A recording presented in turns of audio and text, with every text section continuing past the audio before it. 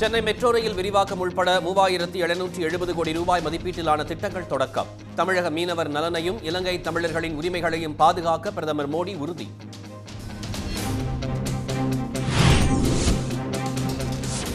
சென்னை வந்த பிரதமர் மோடி முதலமைச்சர் எடப்பாடி பழனிசாமியுடன் தனியாக சந்திப்பு. அதிமுக பாரதிய ஜனதா கூட்டணி தொகுதி பங்கீடு குறித்து பேசப்பட்டதாக தகவல்.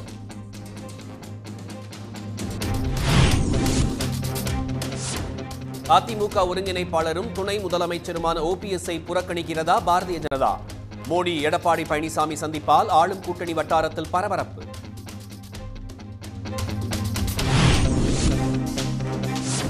பிரதமர் மோடி நிகழ்ச்சிக்கு அழைப்பு விடுத்தும் பாமக தேமுதிக தலைவர்கள் புறக்கணிப்பு. பிரதிநிதிகளை மட்டும் பங்கேற்க செய்ததால் அதிமுக கூட்டணியில் சலசலப்பு.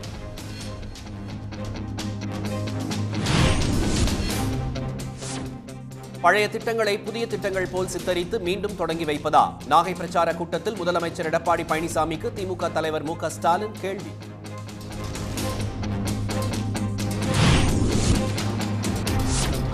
சென்னையில் நடைபெறும் இரண்டாவது டெஸ்டில் இங்கிலாந்து அணி முதல் இன்னிங்ஸில் நூற்று முப்பத்தி நான்கு ரன்களில் சுருண்டது இருநூற்று நாற்பத்தி ஒன்பது ரன்கள் முன்னிலையுடன் வலுவான நிலையில் இந்திய அணி.